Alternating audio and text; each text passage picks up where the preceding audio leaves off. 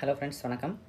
இன்றைக்கி வந்து நான் வந்து ஐஃபோன் தேர்ட்டீனை வந்து ஃப்ளிப்கார்ட்டில் எப்படி பாடுபட்டு வாங்கினேன் அப்படின்ற அந்த ஒரு எக்ஸ்பீரியன்ஸ் தான் ஷேர் பண்ணலான்னு இருக்கேன். ஃப்ளிப்கார்ட்டில் வந்து ஐஃபோன் தேர்ட்டின் ஆர்டர் பண்ணேன். இருபத்தி ரெண்டாந்தேதி ஃப்ளிப்கார்ட் ப்ளஸ் மெம்பர்ன்றதால இருபத்தி ரெண்டாந்தேதி ஏர்லி மார்னிங் டுவெல் ஏ ஏஎம்க்கு ஆர்டர் பண்ண ஆரம்பித்தேன் ஆக்சுவலாக டுவெல் டூ வரைக்குமே என்னால் டுவெல் டூ வரைக்கும் என்னால் ஆர்டர் பண்ண முடியல.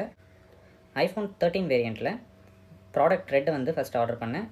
அப்போ ஆர்டர் பண்ணும்போது டைம் வந்து டுவெல் டூ ஏஎம்மு ஸோ அந்த டைமில் ஆர்டர் பண்ணும்போது பார்த்தீங்கன்னா நான் வந்து ஃப்ளிப்கார்ட் பே லேட்டர் ஆப்ஷனை யூஸ் பண்ணலாம்னு நினச்சேன். ஏன்னா அதில் வந்து ஃபிஃப்டி ஃபைவ் தௌசண்ட் இருந்துச்சு. ஸோ அதை யூஸ் பண்ணி ஆர்டர் பண்ணலாம்னு நினச்சும்போது ஆர்டர் வந்து ஃபெயில்டுன்னு வந்துச்சு. ஏன்னா அந்த Flipkart play later pay later ஆப்ஷனை வந்து யூஸ் பண்ண முடியல.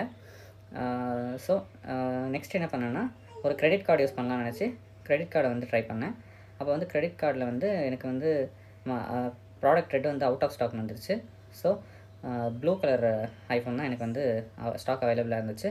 நான் ஆர்டர் பண்ணும்போது பார்த்தீங்கன்னா ஃபார்ட்டி நைன் தௌசண்ட் நைன் நைன்ட்டிக்கு வந்து விற்றுச்சு ஸோ ஃபிஃப்டி தௌசண்ட் ரவுண்டாக வந்து ஃபிஃப்டி தௌசண்ட்க்கு வந்து நான் ஆர்டர் பண்ணேன். நான் ஆர்டர் பண்ண டென் மினிட்ஸில் பார்த்தீங்கன்னா ஆர்டர் வந்து தீர்ந்து போச்சு. அவுட் ஆஃப் ஸ்டாக் வந்துருச்சு. அதுக்கப்புறம் ப்ரைஸும் பார்த்தீங்கன்னா ஃபிஃப்டி ஃபைவ் தௌசண்ட்க்கு வந்து இன்க்ரீஸ் ஆயிடுச்சு. ஸோ ஆர்டர் பண்ணி அது மட்டும் இல்லாமல் அந்த ஆர்டர் பண்ணி அந்த ஃபோன் கையில் வர வரைக்கும் கொஞ்சம் நம்மளுக்கு ஒரே அதை பற்றி தாட்ஸ் இருந்துகிட்டே தான் இருக்குது ஏன் அப்படின்னா இந்த வாட்டி ஃப்ளிப்கார்ட்டில் என்ன சொல்லிட்டாங்கன்னா ஃபோன் அவ்வளோ ஈஸியாக ரிட்டர்ன்லாம் போட்டுற முடியாது. அந்த ஃபோனை வந்து ஓப்பன் பாக்ஸ் டெலிவரி தான் பண்ணுவாங்க. அப்போ அந்த ஓப்பன் பாக்ஸ் டெலிவரி பண்ணும்போது அந்த டைமில் ஏதாவது பிரேக்கேஜ் ஏதாவது இருந்துச்சுன்னா தான் ஸ்பாட்டில் தான் அதை ரிட்டன் போட முடியும். நீங்கள் ஓப்பன் பண்ணி பார்க்கும்போது எதாவது இருந்துச்சுன்னா ரிட்டன் போட முடியாது. சர்வீஸ் சென்டருக்கு எடுத்துகிட்டு போய் நீங்களே தான் சரி பண்ணிக்கணுன்ற மாதிரி சொல்லியிருந்தாங்க. ஸோ அதை நினச்சி கொஞ்சம் கவலையாக இருந்துச்சு. ஏன்னா வீட்டில் நம்ம எப்போவுமே இருப்போம்னு சொல்ல முடியாது. ஒரு சில டைமில் பக்கத்து வீட்டில் கொடுக்க சொல்லுவோம். இல்லை வீட்டில் இருக்கவங்ககிட்ட கொடுக்க சொல்லுவோம். வீட்டில் அப்பா அம்மா யாராக இருந்தால் அவங்களுக்கு வந்து அது ஃபோனை செக் பண்ணலாம் தெரியாது. ஸோ அந்த தாட்ஸ்லாம் இருந்துச்சு. ஸோ எனிவேஸ் ஃபைனலாக வந்து ஃபோனை டெலிவரி பண்ணிட்டாங்க.